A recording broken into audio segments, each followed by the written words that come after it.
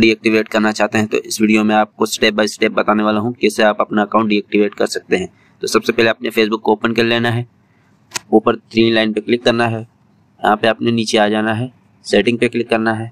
Setting पे click करने के बाद पर्सनल एंड अकाउंट इंफॉर्मेशन पे क्लिक करना है।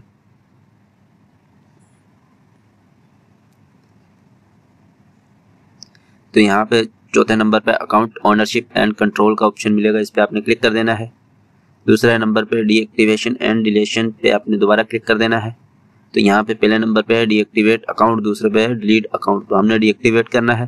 तो दोबारा कंटिन्यू तो अकाउंट डीएक्टिवेट पे क्लिक कर देना है। तो यहाँ पे आपसे पासवर्ड मांगा जाएगा, वो आपने एंटर कर देना है।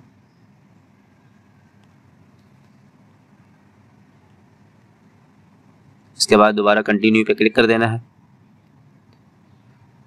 इस तरह आपसे रीज़न पूछा जाएगा कि किस रीज़न की वजह से आप इसको डीएक्टिवेट कर रहे हैं अपने अकाउंट को तो कुछ भी आप अपनी मर्ज़ी से हिसाब से चूज़ कर सकते हैं।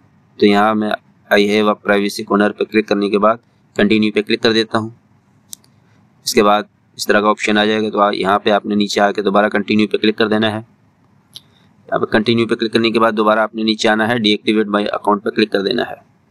जैसे आप क्लिक करेंगे, आपका जो अकाउंट है वो डीएक्टिवेट हो जाए।